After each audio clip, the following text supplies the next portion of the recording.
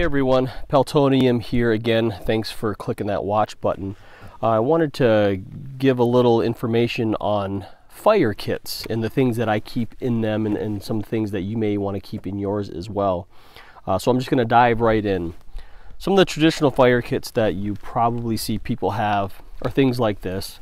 You know, a little bit more modern, waterproof case. You know, you get your little tinders and your, you know, wet fires, box of matches, that kind of thing. You know, it's, it's kind of nice, a little heavy, a little bulky, but pretty nice, you know, pretty efficient.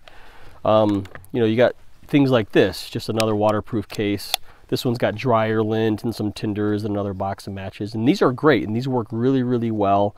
Um, and there's nothing wrong with keeping these in a pack or in a pocket because uh, it has everything that you need in them. And then you can combine them with things like your standard magnesium fire starters, uh, which are great. Um, I find that these work okay, but there's a lot better um, options out there for you. But you see a lot of these things, and I've used them, and they're okay. Um, I, I, find them to be a little uh, not as effective as some of the other things I use. And then a lot of times you'll see people, you know, pair these up with your standard fire steels. This particular one was made by um, Rush Camp and Prep out of Iowa. And I've used this quite a bit and you know it's on a lanyard but these are the typical things you would see a lot of people have and that's completely fine. Um, however I've been finding myself lately wanting to go a little bit more of a traditional route. Uh, I find myself liking a lot of the old world the old style of things and uh, so I decided to you know make this little tinder pouch uh, and this particular one is awesome. I, I, love this one. This one's a little bit smaller than I would like, um, but this is also the first one I've ever made. So what I'm going to do is I'm going to show you how I go about making uh, my tinder pouch and some of the things that I would keep in it. So stay tuned and uh, I'll make this short and sweet for you. Some of the basic items you'll need for this particular project. First and foremost is going to be leather. This particular piece of leather is from a white-tailed deer that um, I shot, I harvested, and then I had tanned for me. It's got your more finished side and then more of your suede side. So this is a pretty big hunk of leather here. And it, it is unfinished, which means there's no stains. It's completely natural. And uh, I, I, quite like it. I, I think it's a, a, pretty good work area. So we're going to use this for our, our tinder bag. Um, I find it uh, especially cool because this is a deer that I actually shot. I actually skinned myself, so that, that's, that's pretty cool. Um, you're going to need some scissors, just so you can, uh, you know, cut your border and that kind of thing. Uh, you're going to need a hole punch. This particular one is a leather hole punch with different sizes on it. Um, I, man, I think I bought this at Michael's or Walmart or something, um, or Harbor Freight. I don't remember, but it was only like six bucks or something like that, but it works very, very well. You'll need, you know, a pencil or a marking device of some sort because you're going to need a mark on the leather. Uh, you're going to need a measuring device. Um, I use this already pre-measured here. This will be my center hole. I have a 14 inch and a 15 inch hole drilled in it so I can go ahead and radius this out if need be, you know, when, when I go to draw my circle. Uh, so that, that's pretty cool. And then lastly, you're gonna need some cordage to actually draw it up. And this is just a, a leather bootlace, you know, genuine leather bootlace that, you know, you would find on any old pair of work boots. Um, and then uh, as far as a toggle goes, um, I'm using a uh, an old an old nut. Uh, I, this is just from my my random you know nut and screw drawer box that I'm sure everyone out there has. Um, but it offers pretty good tension for this size cord to keep your your bag closed. But I'll use this for decoration. But, uh, and this is a wood toggle that I made just out of a piece of stick. I just cut a small slice of it, carved it down a little bit, drilled a couple of holes. Um, but yeah, this is just standard. I don't, I don't even know what kind of wood it is, but we're going to use that for a closing system as well. But these are the basic things you'll need to, to get it done. So um, yeah, I'm just going to kind of jump right into this. So here we go. My of my hide here, uh, just so I can get to the closest to the edge as possible without having to use the middle of it so I can still utilize some of the rest of the hide here. Um, there's a little bit of a wear thin spot here. I'm going to try not to use that as much. Um, but I got just an old punch here that I'm going to use just to kind of keep it anchored. And I have a 15 inch and a 14 inch hole and the reason for that is is the diameter of the whole bag is going to be 15 inches but 14 inches is, is going to be the line on which I punch my holes. So that's an inch difference, but around the whole uh, circumference of it, it's only going to be a half inch on all sides. So and that, that's what I want. So I'm just going to use a pen because it's going to be cut out anyways. Um, and then uh, we'll just kind of go from there. All right, so that's my 15 inch border. That's how big this whole thing is going to be. Now I'm going to draw the 14 inch line, which is, you know, a half inch all the way around. And the 14 inch line is going to be the line where all my holes will be to run that pull cord through. So I'm going to draw that here really quick.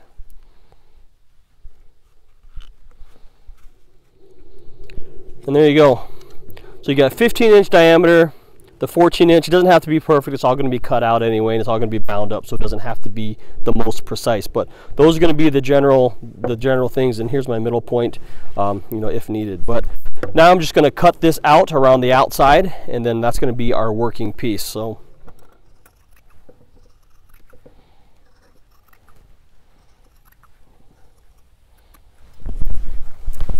the piece here and you know once you get all the holes and, and, everything punched in it'll all gather up like this you know just like how you saw the little one here.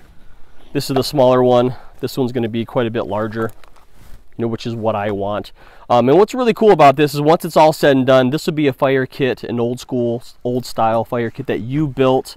Um, and it's a great you know thing to share even with like your friends and family. It's a great conversation piece. If you pull this kit out to start a fire people are like hey dude what is that? And you can tell them that you made it so which is pretty cool. Um, but all I'm going to do now to figure out how to space out my holes is I'm going to fold this guy in half. Basically so I can get these these points measured out. So I'm going to take it. All I'm going to do is mark it inside here like this come the other way, mark it inside. Now I got these marks here and I know holes are going to go there. And in order to figure out where the cross space is, all I'm going to do is match these two edges up, those two lines up on the inside. I'm going to do the same thing. Mark that. Mark that. And now you know you got all these spaces here. Now next, just to keep this process going, I'm going to take this, I'm going to match it up with this one.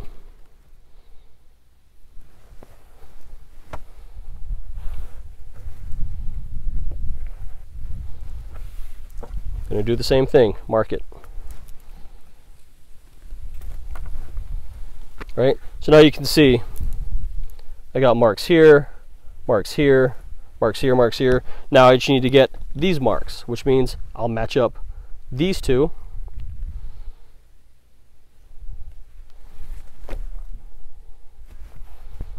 and mark those out.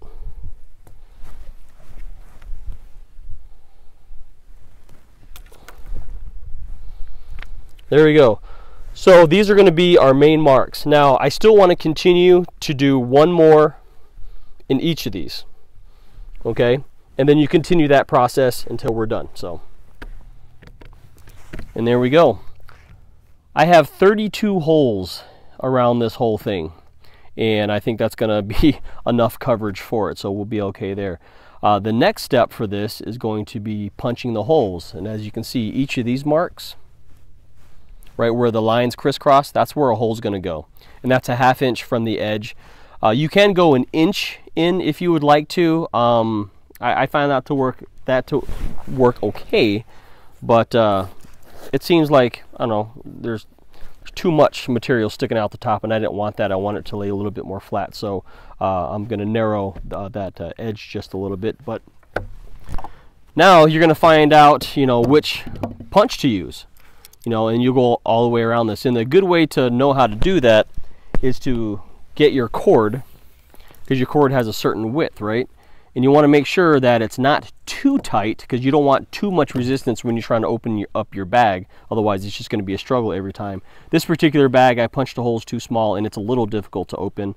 Um, but with this one I want to make it a little bit bigger. So this one you can see that slides in there pretty good.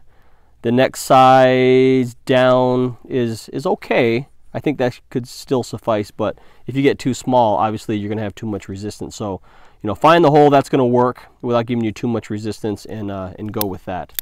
I think I'm going to go with This is probably going to be a little too tight. Yeah. That one fits just perfectly, so I'm going to go one size bigger. Just like that. There we go. And all I'm going to do now, line each of these holes up, right where those, those things just keep going around the whole thing. Then I got the last couple of ones here. And done. So, here's 32 holes evenly spaced. Now the one thing that I will uh, suggest for you is all your markings, yes they are pen, because pencil doesn't write on this stuff, um, make it on the inside of your bag because uh, you know once it's all closed up you won't be able to see all those markings.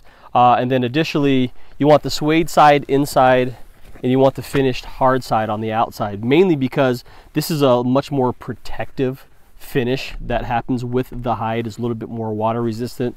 And once this is all done I'll probably end up treating this whole thing with uh, uh, uh, either a wax or, or, maybe even some kind of fat just to kind of help some of the bottom to be a little bit more waterproof you know if you set it down on, on surfaces or things like that. But the suede side will hold moisture a lot more so you want to have your materials inside and protected from the elements. So uh, there it is. Uh, this is your basic pattern and it's pretty simple. And then the next thing you're going to need to do once this is done is take your cord and make sure you have enough, right?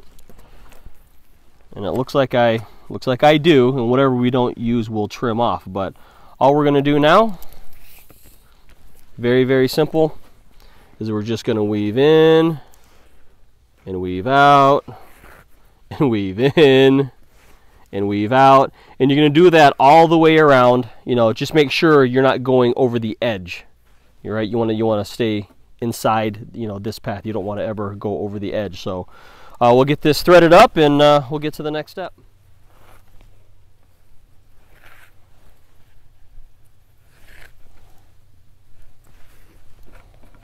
I have it all drawn through, as you can see, with even numbers, it'll always come out the two holes on the outside, so that's what you want. So from here, you can pretty much just draw it up, and this is what your bag is going to look like.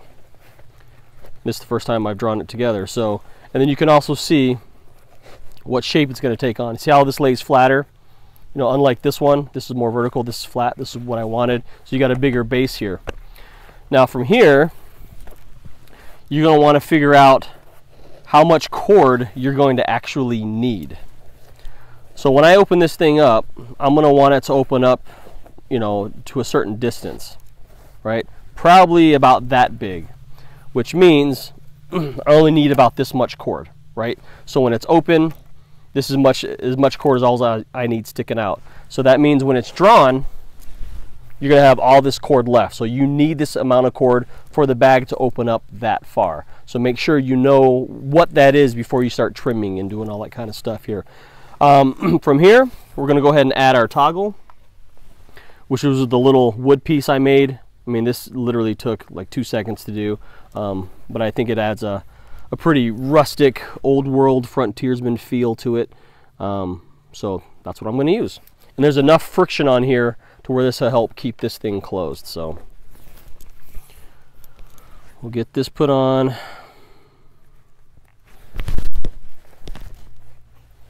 We'll go ahead and draw it all the way down. And this is what it's pretty much going to look like for the most part. I just got to figure out, like I said, what that distance is, and then I'll tie a knot on the end. But this is what we're going to have with so far. So I'm going to go ahead and measure this out, cut this to length and get all that done. And then we'll show you the types of things that I like to keep in my fire kit for the area that I live in, which makes sense. So then here we go. All I did was measure this to how long I needed it, tied a knot. I just put a little nut on here. I just think it adds a little bit of, I don't know, a little bit of flair, a little bit of shininess to the end of it. It's purely as decoration. Tied it off with a knot, clip the ends, and this is good to go. This is not going anywhere. Um, but here, here's your here's your bag. Pretty sweet, pretty awesome. And uh, some of the things that I like to put in this bag are things that I can find, you know, in in my particular part of the country. Uh, the natural materials that I, I can find in, in my area. Um, so some of the the first things is like birch bark. You know, these are just little bits, and obviously Uh, when I'm walking around hiking and stuff, if, if I find bigger bits, I'll, I'll, I'll, grab those too. But these are an excellent fire starter. Um, but I can keep those loose in there. Those are absolutely fine.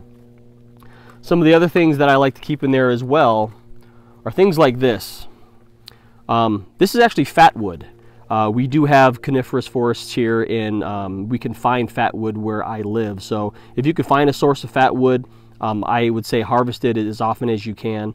Um, and for those of you who don't know what fat wood is, it's basically a dying pine tree uh, that has um, the resin has pretty much petrified a piece of branch or a piece of uh, part of the tree, and that's how it stayed. So it's uh, it's uh, it's very flammable. It's very hard. It, it's it's like like I said, it's like petrified, but the stuff is very flammable. So I'll keep a little bit of that in there. you know, maybe a couple of sticks. And the cool part is, is if you get yourself a tin. This is a old ThruNite tin. You know, this is the from my EDC flashlight. You can even get yourself other things like Altoids tins, and these things are absolutely awesome, whether they're the big Altoids cans or even the small ones like this. You know, you, you take these, and you can go ahead and shave down your fat wood. I mean, that's got a strong turpentine scent to it, and it's sealed in here, so, uh, you know, that'll keep everything from smelling too bad. But here's a small one I keep in my small little fire bag. This one's a little bit bigger.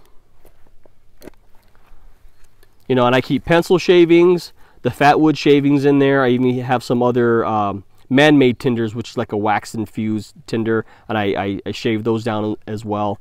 But uh, this is my little tinder kit that I just keep automatically with it. That way it's already done. But if I'm out in the field, I can take fat wood or little pieces of stick and wood, you know, and just make sure that they're dry. You can find, you know, pretty much anything uh, as long as they're pencil size, a little bit bigger than pencil size, and you can shave them down to this, right? And all you would need for something like that is something as simple as a pencil sharpener.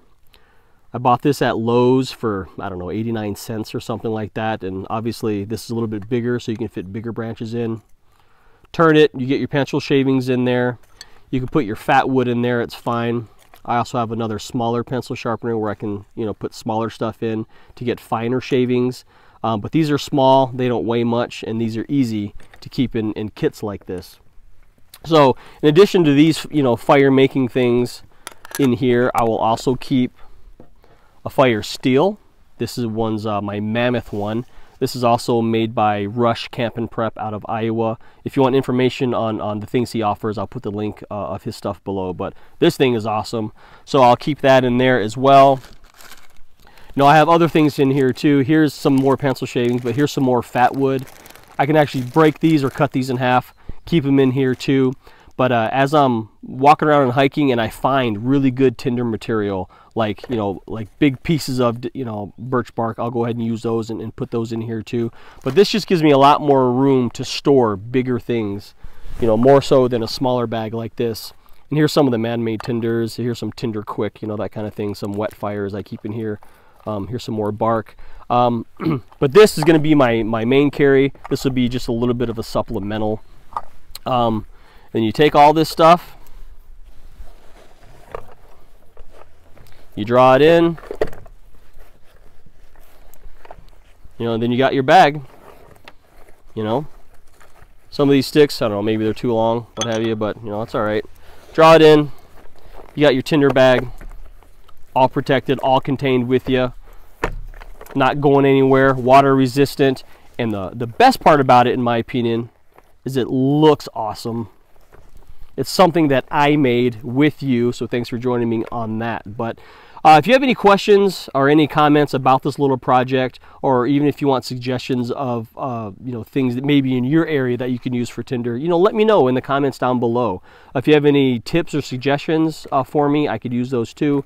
Um, but the one thing I really like about this particular one is the natural deer hide that I harvested. So it, it rings a little on a little bit of a personal note for me, but really cool bag that you can just keep with you everywhere. And like I said, that's that's about as fine as craftsman craftsmanship as you can get. And uh, um, I know I'm, I'm kind of digging it a lot, but go out there. It's super easy to do. And if you have any questions on how to build this, you know, if you want any more specifics, just let me know.